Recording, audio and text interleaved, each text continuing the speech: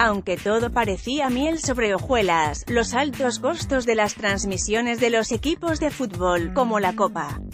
Mundial de Rusia 2018, sumado una débil demanda coyuntural de publicidad y costos crecientes provocaron que TV Azteca registrara cuantiosas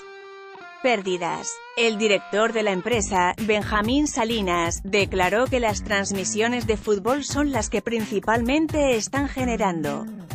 costos altos que llegan a afectar a las ganancias. Por medio de un comunicado, la televisora de la Jusco informó que las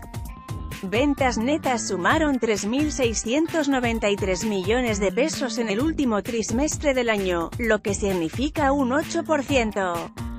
por debajo de los 4.005 millones del mismo trimestre del año anterior. Asimismo, aclaró que mientras se tuvo esta baja significativa, los costos y gastos totales fueron más altos a comparación de los del año previo, dando como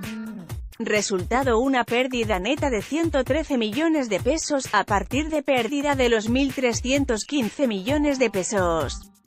en igual periodo de 2017.